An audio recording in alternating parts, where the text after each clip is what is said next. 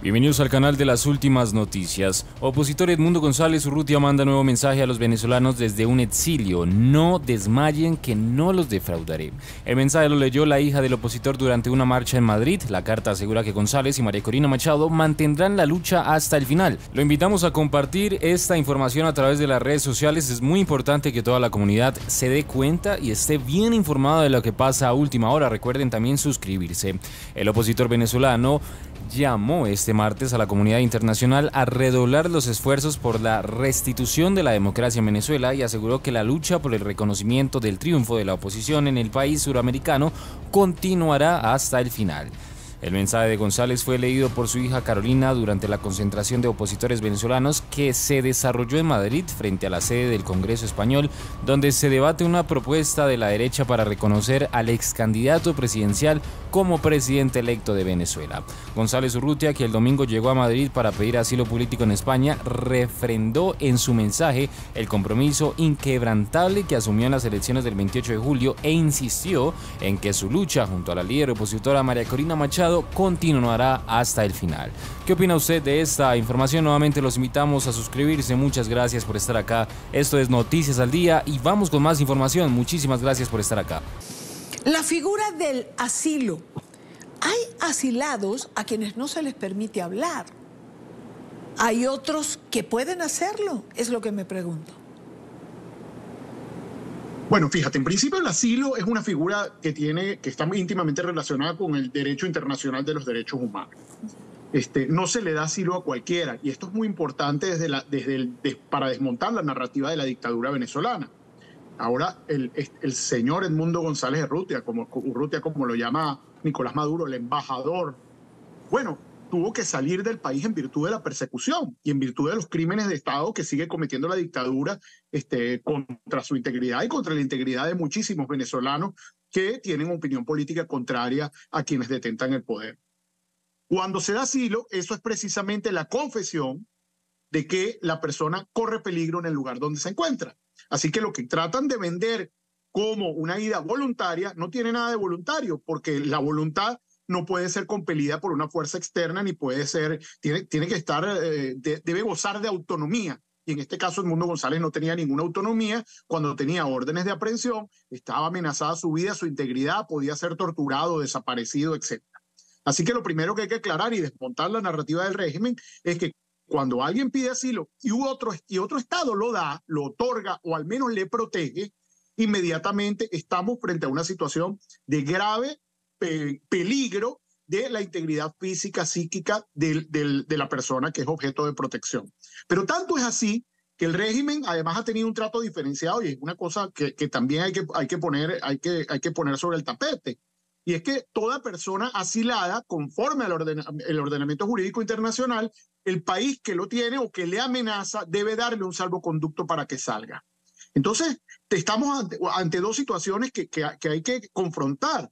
Edmundo González se le dio un salvoconducto para que saliera, pero tenemos seis personas en la Embajada de Argentina con asilo aprobado por el gobierno argentino a quienes no se les da salvoconducto y por el contrario, se les corta la luz, el agua y hay amenazas permanentes de ingresar a ese recinto que tiene una protección de la Convención de Viena para tratar de aprenderlo. Entonces, ¿por qué el régimen actúa de una forma tan ambivalente y además pasa por un comunicado de Delcy Rodríguez donde dice nosotros lo dejamos ir y le dimos salvoconducto porque somos respetuosos del derecho internacional. No sean cínicos, no sean cínicos. Claro, qué absurdo. Es que cuando leímos eso todos pensamos exactamente en las seis personas que están en la Embajada de Argentina.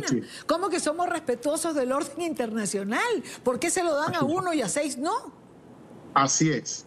Así y no solo eso, sino que una persona que se le otorga asilo, en principio debe conservar la totalidad de los derechos que le son inherentes, es decir, sus derechos civiles, sus derechos políticos, sus derechos económicos, sociales y culturales, sin ninguna restricción, por supuesto. El país que otorga asilo probablemente pueda poner algunas reglas de, de modo que no le genere una conflictividad permanente con el otro Estado, pero esas reglas no pueden pasar por la imposibilidad de que la persona se exprese políticamente y más una persona cuya o, digamos cuyo, fin, cuyo objetivo, cuyo proyecto de vida, este, cuya expresión eh, frente a los venezolanos es precisamente el ejercicio de los derechos políticos. Así que si esa restricción se produce, también es inconstitucional porque no hay ciudadanos de primera y de segunda, este, independientemente de que estén en una situación de asilo.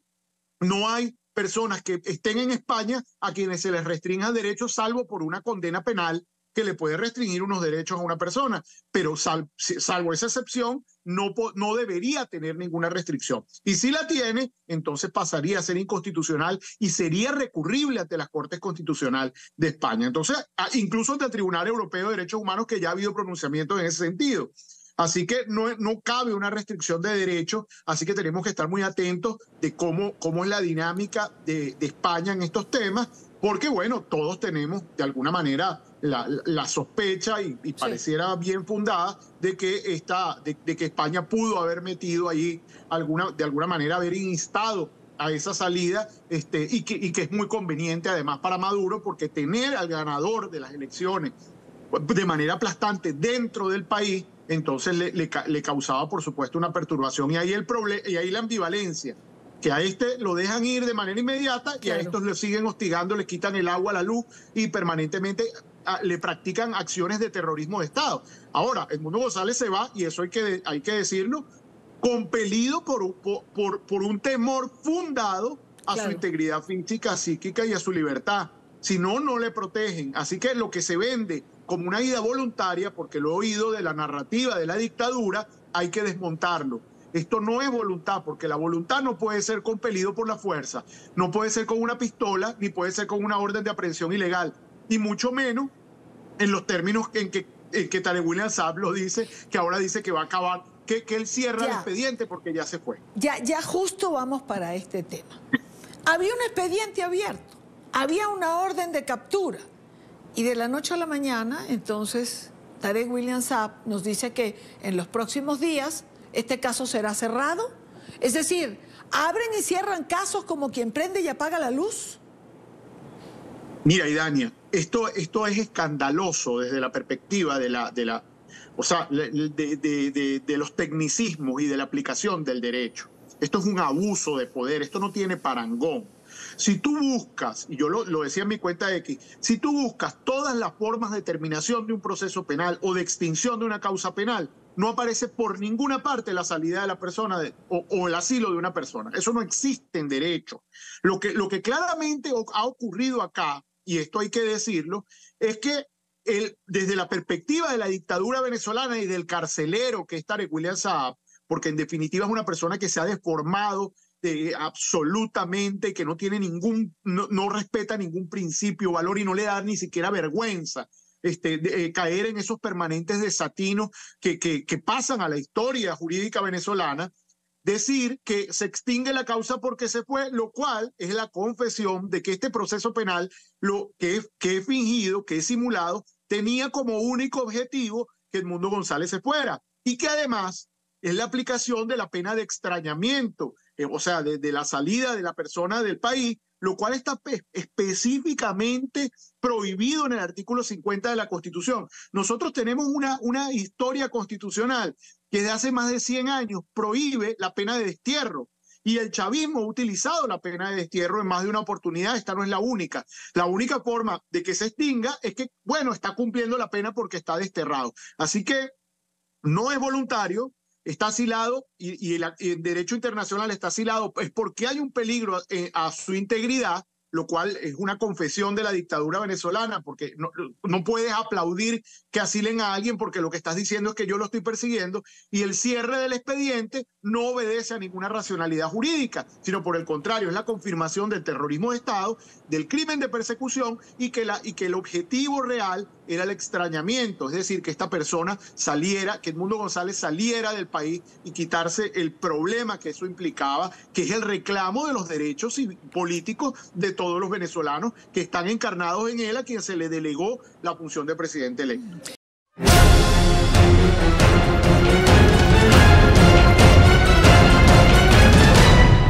Si no te quieres perder de los últimos acontecimientos que pasan en el mundo, suscríbete y activa la campana. Somos Noticias al Día.